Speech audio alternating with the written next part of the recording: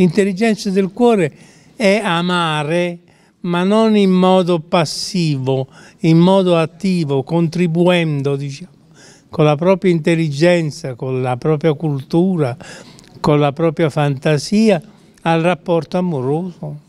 L'intelligenza del cuore, così l'ha definita il marito e compagno di una vita Raffaele La Capria e che ha dato il titolo al documentario che racconta la vita di Ilaria Occhini, un ritratto intenso della grande attrice italiana attraverso racconti, ricordi e interviste. È un racconto intimo, non parla infatti solo del suo lavoro, e, mm, parla anche mm, della sua vita, dei suoi rapporti intimi affettivi, c'è anche una profonda malinconia che attraversa tutto questo documentario e l'intervista perché si sente insomma che è una donna che adesso ha come concluso un suo percorso e, e quindi questa vena di malinconia rende anche secondo me questo film molto particolare e poetico.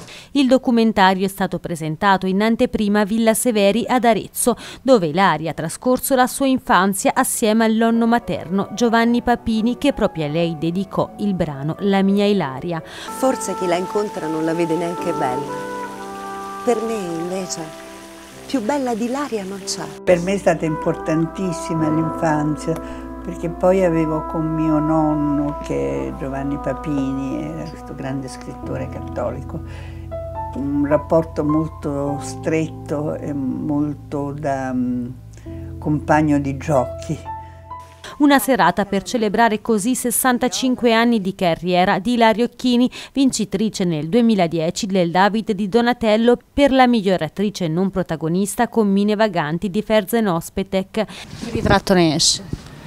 E nasce di una donna straordinaria, incredibile, mm, grande attrice, grande donna, bellezza immensa, ma questo non, non so neanche scoprirlo, è una donna con le, le sue fragilità, come tutti abbiamo, che invece vengono sempre nascoste. E proprio da Arezzo parte una proposta, un festival del cinema e del teatro al femminile da tenere in città abbinato al premio Occhini.